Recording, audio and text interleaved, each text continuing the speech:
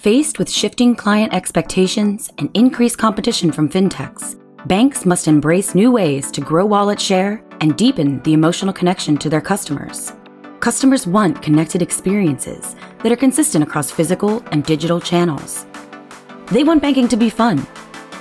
But it's hard to get there from where many banks are today. 95% of bank executives in Capgemini's World Retail Banking Report said that legacy systems inhibit their efforts to optimize customer centric growth. Banks need to leverage their data, leverage cloud, leverage AI to drive those seamless experiences. They also need to simplify the process and reduce complexities while driving those experiences.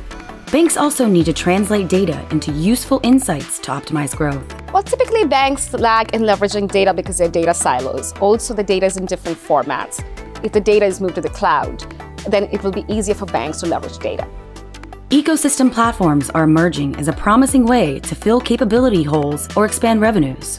The key to platformification is building robust digital foundation that is modular and microservices based, API first, and cloud native. With the right foundations, banks can plug and play new capabilities to deliver superior experiences. CMOs must lead the connected customer transformation across the enterprise. Our executive survey findings suggest that only 28% of CMOs are directly responsible for managing customer experience. The new CMO must become the customer chief strategist and orchestrate the new experiential customer journeys with other C-suite executives.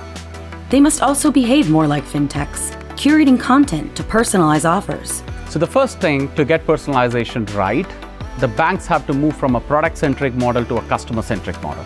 Once they move into a customer-centric model, they can start leveraging the data because you're going to know with the data what are the different footprints of the customer across different touch points. Today's banks must strengthen data capabilities, leverage platform-based models, and deliver superior customer experiences that deepen brand affinity. The CMO is at the heart of this change, driving the next wave of customer-first growth. The future of banking is now. Accelerate with confidence.